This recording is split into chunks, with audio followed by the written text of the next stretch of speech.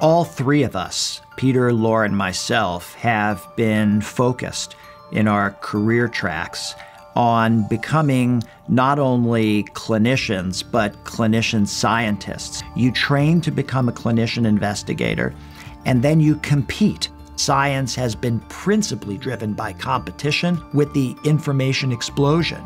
There has been a necessity for collaboration.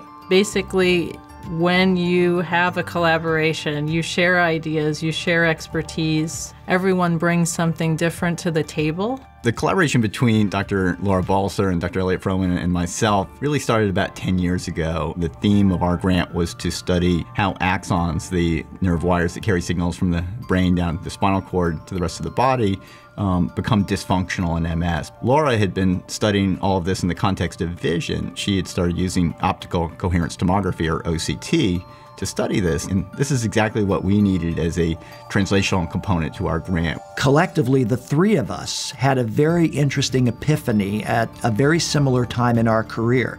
And that was could we use the eye as a window and as a way to model the disease process?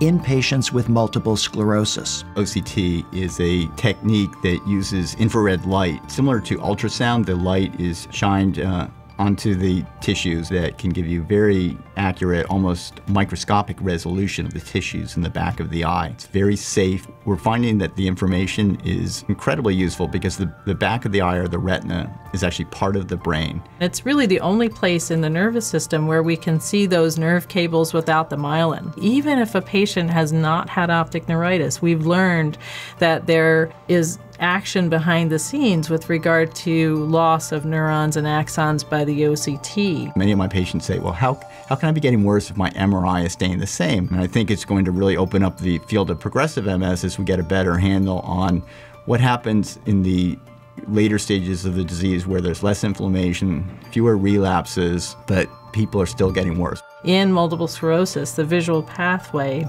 can be looked at to measure the effects of new drugs that could protect or repair the nervous system even without acute attacks of optic neuritis. Could that be a way that new treatments come about and are tested in a non invasive way?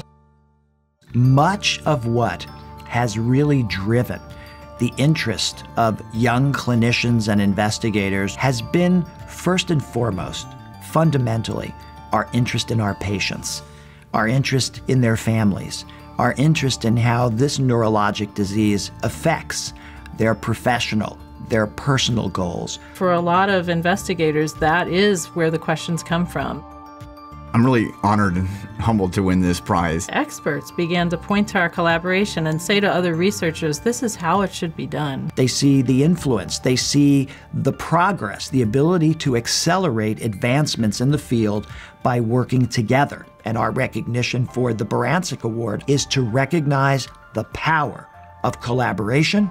I believe the work that our group has done across the three centers and now expanding into 35 centers across the world recognizes an iconic moment in science. We need to surrender our egos and thinking that there's going to be one person who's going to cure this disease. It is about selflessness. It's really about the group. The Barancik Prize to us means really a great day for team science. The Baranciks and their foundation have really established the nidus of this kind of very important support Today, we are well on our way to achieving our first fundamental steps in the goal to eradicate MS.